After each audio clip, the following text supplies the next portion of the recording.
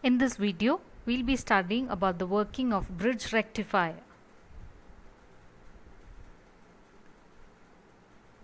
As we are aware, rectifiers convert AC to pulsating DC. Half wave rectifier gives output only for positive half cycle of the input, whereas full wave and bridge rectifier give output for both positive as well as negative half cycle of the input.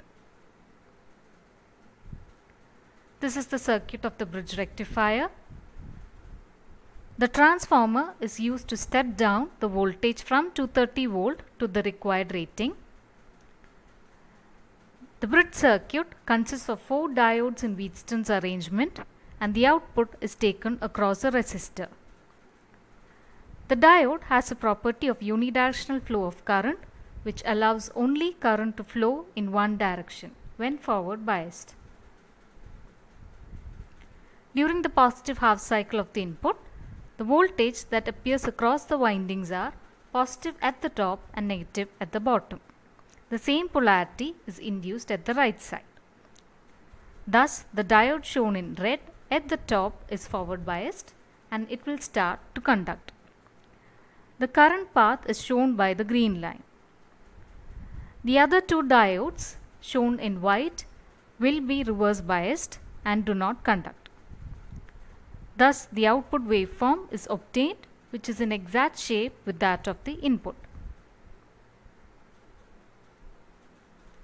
During the negative half cycle, the polarity that is induced is shown here, negative at the top and positive at the bottom.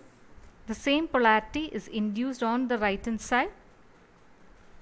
The current begins to flow from the positive and the diode at the bottom shown by red is forward biased and will conduct. The current flows through the resistor and finally through the diode which is forward biased shown by red and the circuit is completed. Since in both positive and negative half cycle the current through the resistor flows from right to left, the direction of the current does not reverse. Hence the output is obtained like this. That is the direction of the current does not change for both positive as well as negative half cycle. The summary of the working of bridge rectifier is shown here.